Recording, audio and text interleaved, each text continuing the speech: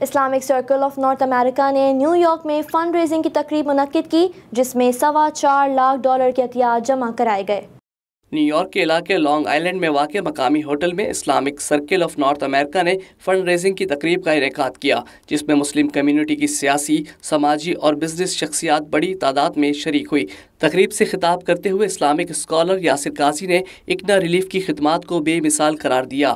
انہوں نے کہا کہ جو کام اکنا کر رہی ہے وہ قابل تعریف ہے۔ اکنا ریلیف کا مقصد انسانیت کی خدمت ہے، چاہے وہ کسی بھی مذہب سے ہو۔ We Muslims need to understand it is her Islam that is being attacked.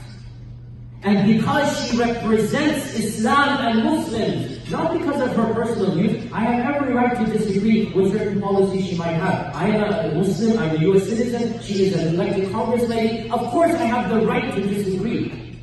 But in the grand scale of things, seeing what is happening, she becomes an icon of our faith.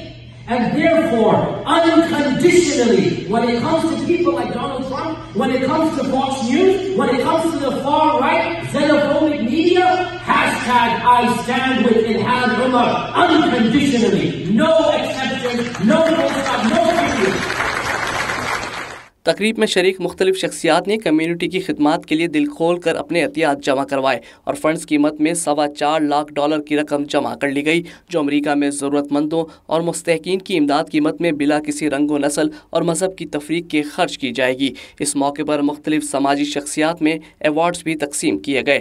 تقریب کا اختتام پرتکلف کھانے پر ہوا۔